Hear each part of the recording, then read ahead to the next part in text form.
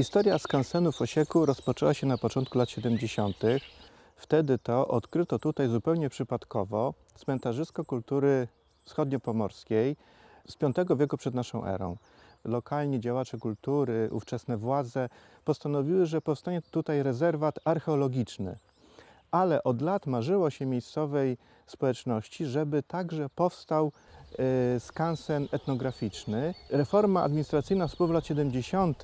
spowodowała, że skansen w Osieku znalazł się w granicach województwa pilskiego i wówczas e, dalszym rozwojem tego muzeum zajęło się Muzeum Okręgowe w Pile. Zmieniła się również koncepcja etnograficzna skansenu. Nie miał być to już wyłącznie skansen krajeński, ale miał obejmować części różnych regionów etnograficznych wchodzących w skład północnej Wielkopolski, czyli Krajny, Pałuk i Puszczy Noteckiej. W chwili obecnej na terenie skansenu znajduje się około 30 obiektów architektonicznych, które są uzupełnione tak zwaną małą architekturą, czyli kapliczkami przydrożnymi, piecami chlebowymi, krzyżami przydrożnymi również.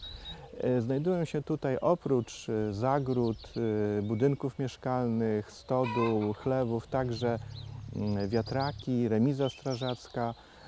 Wśród ekspozycji stałych na uwagę zasługuje karczma, wiejska szkoła, również ekspozycja sklepu wiejskiego.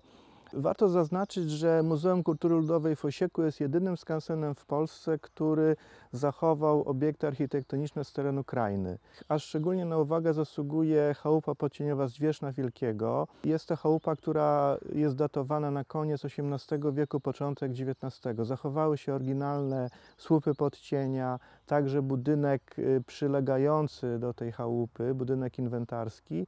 Także dla miłośników archeologii mamy tutaj bardzo dużo ciekawych rzeczy. My w tej chwili eksponujemy w tak zwanych pawilonach archeologicznych tylko te najbardziej spektakularne znaleziska w postaci urn twarzowych czy też y, grobów podkloszowych. Natomiast na terenie całego skansenu były rozsiane w takich w skupiskach pochówki ciałopalne, które tutaj występowały na przestrzeni 700 lat.